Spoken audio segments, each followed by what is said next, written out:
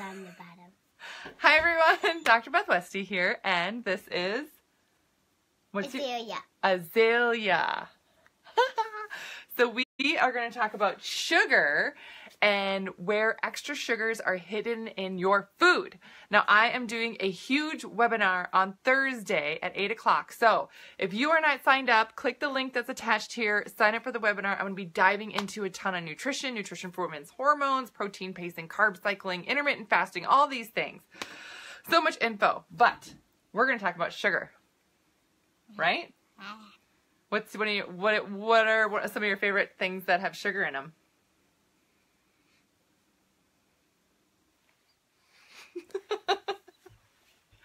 because we were just I was just Doritos. That's one that my mom doesn't us eat, but my dad's Yeah. kind of a little bit of a pushover, like my grandpa. okay. Yes, we don't we don't eat Doritos.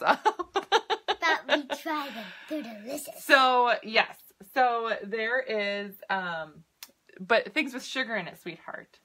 What is there something that you like that has sugar? Okay. So I'm trying to think about it. okay, you think about it and you let me know. Chocolate. Anything is chocolate. Chocolate. Chocolate has sugar in it. Yes, absolutely. So there are a lot of sugars that get hidden in foods that you may not realize. So I listed a couple of things here. Now, anything that is listed like a blank type of syrup. So any type of silly. Did you have sugar? Did you have sugar? Um, corn syrup, rice syrup, tapioca syrup, anything that's like a food or some type. Even if you're like, oh, well, that's corn, right? Oh, corn syrup, right? That's a that's a sugar. It's some type of sugar. No one wants to see up your nose. no one wants to see up your nose. Okay. Okay. Hey. And then uh, even something like corn sweetener, that's another name for a type of sugar, right? And then when you look at sugars, it'll just say um, any syrup, sweetener, or just saying like coconut sugar, something like that. Yes, it's made of coconut, great, it's healthy. Sure, but it's still sugar, adding sugar. And that can mess with your blood sugars, which messes with how well you can um, kind of monitor your cravings.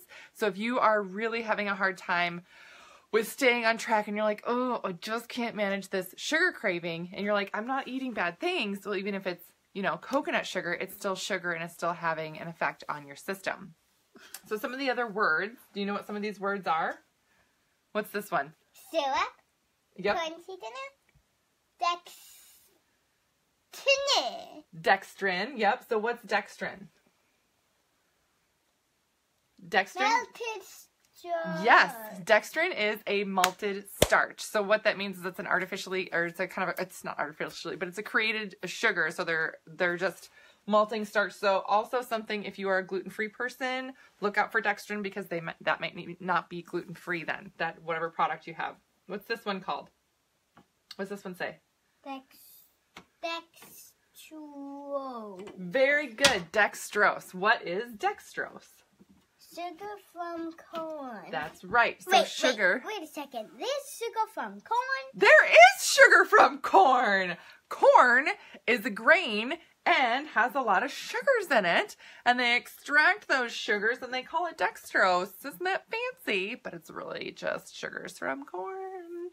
Now, what's this one? Saccharose. Sucrose. We did not practice this beforehand, so this is all like fresh. No, just this one. Sucrose is just what? Sucrose is Table sugar. just table sugar, right? Everybody's familiar with it. When you think of sugar, you I immediately think of that white little bowl of sugar that's on your table. Like one Santa gives us. Okay. And then what's this one? Glucose. Glucose. And which is your it's the same type of sugars that's in your bloodstream. So all mammals have glucose in their bloodstream, right? And that's the same thing, but you can also create that. That's something that you can create a, a molecule that's like glucose. And then what's this one? Lactose. Lactose. Yes, that is Milk sugar. milk sugar. And then there's also things like in milk. fructose. Fructose is also sugar from fruit. So there's a lot of different places that there can be sugar created and it can sound fancy if it's in a product. So you may be, you know, consuming something, right? Like that oatmeal or bananas. oatmeal or bananas. Yeah, oatmeal. I don't know that you can put brown sugar on your oatmeal. That's what I know you do, right? Uh-huh. Yeah, you love the brown sugar on your But, oatmeal. but do bananas? We well, bananas are a fruit, so they have fructose in them. What a fructose again? Fructose is the fruit sugar, is the sugar that's just in fruit naturally. So it's Is it? it's one thing It was that toast with fruit in it. That comes from fruit. no, but there's a lot of ways that sugars can be hidden in your food. So if you're getting sugars from a natural source, if you're getting like eating an apple, then getting that fructose from the actual apple, that's going to be something that's very different. There's also a lot of fruits like an apple or berries. There's a low glycemic, which means that they're not going to spike your blood sugars as much as other, you know, foods and fruits, things like that. Um, but when you're looking at sugars and really, especially around the holidays, and if you're getting a lot of, you know, packaged food, which I know happens and it's so hard to try to eat whole food all the time. I totally get it. What are, what are you reading? um, she's just staring at the screen. Um, that it's it's really hard to just get whole food all the time. But if you are looking at a lot of packages and you're noticing I really want to get cut down on my sugars, I don't want to store sugars, my body doesn't react well to sugars, um, my stress levels increase, or if you're under a lot of stress, realize that your body will store sugars just automatically and store it in fat cells. Um, So kind of keep that in mind. But these are things that are hidden sugars in your food that you might not immediately think of. Like, like you're like, oh, I don't really know what that is, but it doesn't seem that terrible, right? Oh, it's not like popping in my head as a big red like flag. Of something like mermaids. You don't want to have mermaids in your food. I wouldn't want to have mermaids in my food.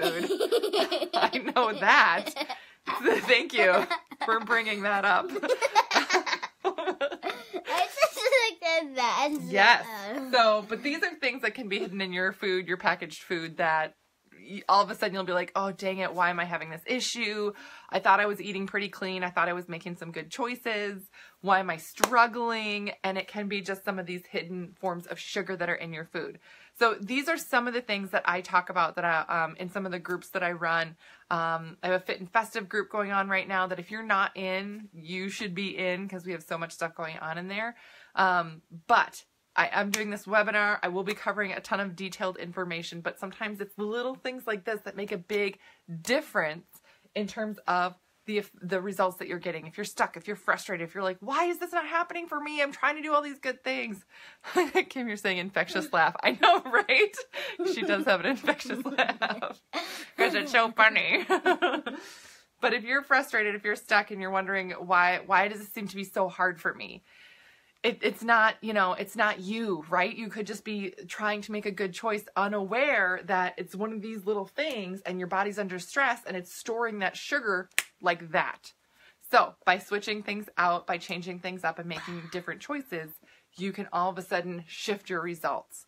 Those are the things that i'm really passionate about helping women get to like finding and uncovering these things that are getting you stuck and keeping you stuck and getting beyond it. So what are you Trying to do the thing covered nine times. Yes, I know. So that's what I got for you guys tonight. Are you ready? Are you ready?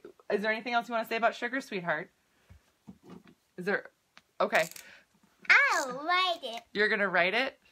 Oh, Okay, I'm know what? nervous. But we sometimes think of Dad. Oh no. Wait, no. How how about this? How about for right now? Can you say just tell candy, people candy, candy, blah blah blah. Candy, candy, candy, candy, candy. So what's Blah, one blah, thing blah. about sugar? Does mom let you eat a lot of sugar? No, No. No, mom doesn't let you eat a lot of sugar. Why is that? Do you think?